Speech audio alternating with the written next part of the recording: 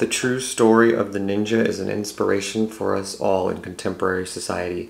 In today's crowded cities and impersonal institutions where computerized figures keep track of our personal lives and corporations, governments, and labor unions seem to be assuming more and more responsibility for determining our daily lifestyles, it is an exciting reassurance to encounter the fresh timelessness of the ninja way of life. From the knowledge of the ninja, we can derive our own concepts personal power and control over the quality of our lives.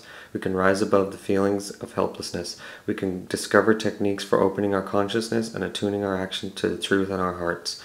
We can reacquaint ourselves with the harmony inherent in the way all things unfold.